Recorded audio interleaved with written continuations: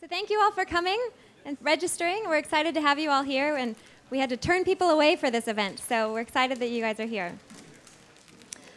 Some of you have been to multiple Aging 2.0 events, others, this is your first time, so we're going to just very quickly tell you a little bit about Aging 2.0 so you know what event you're at. And then if you want to learn more, we're happy to tell you more during the breaks. Um, my name is Katy Fike. This is Stephen Johnston, and we're the co-founders of Aging 2.0. Stephen runs most of our East Coast events in um, New York, Boston, D.C. primarily, and then we also come together to do events and other programs. Um, I run Innovate 50 also, which is a consulting firm that does innovation in this space. Um, Stephen does Forecastle, which is more around mobile health consulting.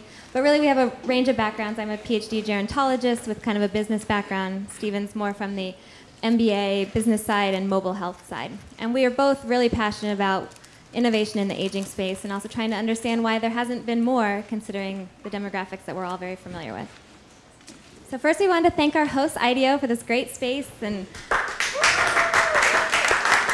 very cool. We're not foolish enough to think that it wasn't partly that that helped with the sellout of the event. Um, but they're great hosts. They've been very supportive of what we're doing, especially Gretchen Addy, who will be speaking momentarily. And so the agenda for tonight, quick welcome. Gretchen's going to speak a little bit about some of what IDEO is doing, specifically in the aging space. Then we have Stephanie Palmeri from SoftTech VC, who's going to give us her perspective as an investor who's watching the space and interested in the space. Then Lively will present. They're one of the, the first startup for tonight, and that's David Glickman. And Iggy actually couldn't make it now tonight, but David will talk with us. And then we'll take a quick networking break for about 30 minutes. We'll come back. I'll have a little word from our sponsors and then the final four startups will give their presentations. So just quickly about Aging 2.0, um, it really started with this mission and mindset around accelerating innovation in the aging space, and we wanted to create this global innovation network to really connect, educate, and support entrepreneurs and innovators in this space. And really, this, you know, the 2.0 name is really around kind of this mindset shift from a challenge to make thinking about it as an opportunity, from thinking about aging as synonymous with healthcare to instead thinking about aging as an entire life stage. We have 30 new years of you know, extended life stage to think about beyond health, to go to think about lifestyle and prevention and wellness. Um, it's about de- designing for all with good design. It's about the aging community has traditionally been kind of mission driven and more focused on government and nonprofits, and we're really excited about bringing in for profit and entrepreneurship into the aging space, which we think has exciting potential.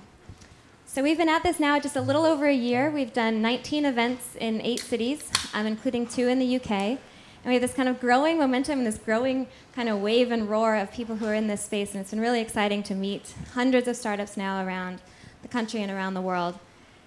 And as we've been meeting startups, we've really kind of bottoms up um, grouped them into these four categories where we're seeing emerging opportunity areas in the space. Um, connected independence is kind of this combination of aging in place products and services, but also things that connect people to their community. So it's not just about aging in place by yourself in your home, but it's about staying connected to your entire community, which is what people want. Empowered care, we're seeing products and services that help either family caregivers or professional caregivers do their job more effectively. So some of this is back end operational, other stuff are tools to help caregivers manage the tasks.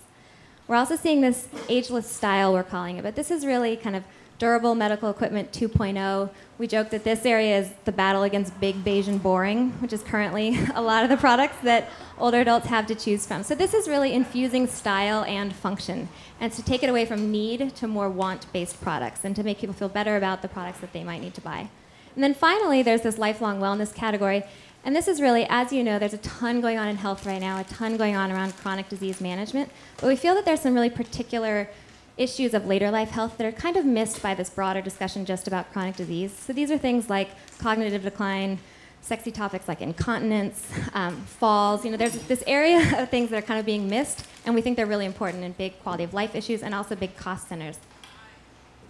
So we've talked about these opportunity areas, but what we have also seen are there's common barriers that entrepreneurs in this space are facing. And so everything from access to consumers for consumer insights. There's tricky marketing challenges in this space. You know, there's lots of potholes and ways you can do it wrong. Um, distribution is probably the biggest challenge that every startup we talk to faces about how do you distribute through long-term care? How do you distribute direct to an older consumer? These are all challenges that the startups are facing. Um, acquiring talent, you know, we're actually building this network and finding increasingly impressive talent coming into this space, but it's still hard to grow and scale a team in this space.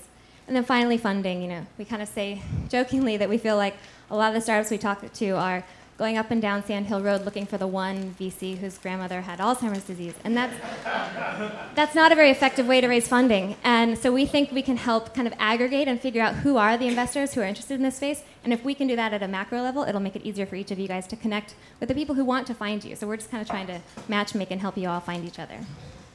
So Stephen makes fun of me for this slide. But um, you know, I think what we're trying to add with Aging 2.0 is you know, on one side we have entrepreneurs and designers and investors and kind of the for-profit world.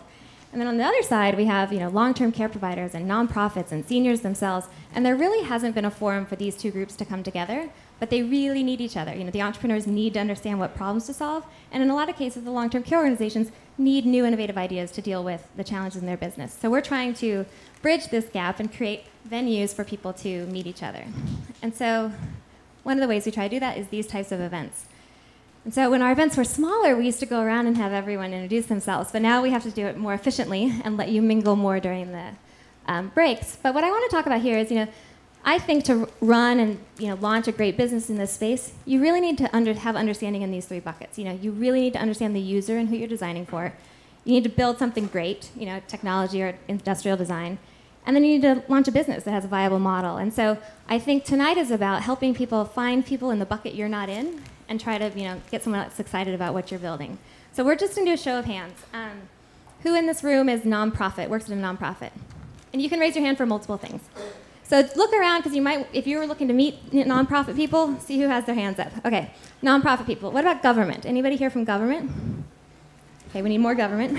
um, um, aging services. So who's currently in an aging services role?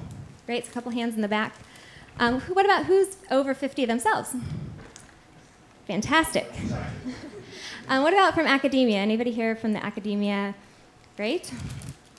Um, so what about developers, front end or back end engineers? A few hands. Great. Um, what about entrepreneurs? Who would consider themselves an entrepreneur? Excellent. Um, what about people from like kind of traditional healthcare or long-term care? Okay. What about investors? They're always a little shy to put their hand up. approach gently, folks. Um, what about from kind of a bigger tech company or big company in the space, a big corporation? Who would say I work for a corporation? All right, lots of small guys.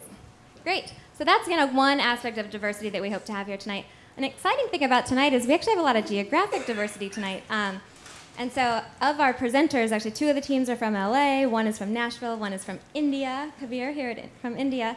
So I just wanted to kind of get a sense who is not within driving distance of where we are right now. Great. So there's you know 10 or 15 people who flew in, and we think that you know this is a great opportunity to meet people in other markets who might be great options for you to spread your business. So. What are we doing? So we've been doing these 18 events, 19 events over the last year, and you know we're trying to think about what's really needed, what have we learned, and what does the space need. And so we're continuing to do the global tour and these events. Um, we've started to get inquiries from chapters that want to start in Milan and China and Singapore, and so we're kind of looking to kind of chapter do, do a chapter model. We're going to start doing more challenges and hackathons. I think that's an important thing for this space um, to make it more of a pull, to let the big providers in the space say, this is my problem, and if people solve it, there's a market for it. So we have some challenges lined up and some hackathons and alarms. Um, and then the final thing is we're working on, we're in active discussions right now about setting up an accelerator in this space. And so, you know, we know that there are challenges that are on both the entrepreneur side as well as the long-term care providers. And so we're looking to build this kind of ecosystem to really programmatically support select startups in the space and really try to give them wings. So some of the upcoming events, we have quite a few. Um, tomorrow, there's this event at AgeSong. I hope you guys can join us. There's flyers in the back. It's a nearby assisted living, and we're taking over. They have an attached cafe.